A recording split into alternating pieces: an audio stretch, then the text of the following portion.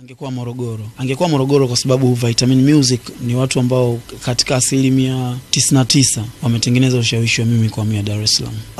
Uh, haikuwa time ambayo nilikuwa nafikiria kuwa huku, lakini waka waka, waka ni convince nikaweza kuja. Kwa hiyo kwa vile haikuwa timing yangu, naweza sema wao ndo wamesababisha wame, wame mimi kuwa around. Ningekuwa nafanya mziki, kwani si ulikuwa napokea mangoma kama kaa, ningekuwa naendelea kufanya mziki, lakini ningekuwa niko Moro. Utofauti ungekuwa uh, naweza sema nis, nisingekuwa close sana na watu kwa sababu simu haitoshi. Watu wana support kazi, watu wana kampuni kubwa, unajua ziko huku, main office ziko huku, mikoani kuna matawi tu. Kwa hiyo ninge miss some deals ambazo nilikuwa nafikiria labda ningezipata hata ambavyo, ambavyo, ambavyo kipindi ambacho nipo kule ninge miss, ninge miss somewhere kwa sababu nisingekuwa on time, na ndio ilikuwa tatizo la muda mrefu. Nikipewa interview ya Jumatano naweza kufika Jumatano, lakini nikawa bado sija relax, tofauti na hapa kwamba unanipigia simu nahitaji interview bwana Jumamosi, basi tokea Ijumaa.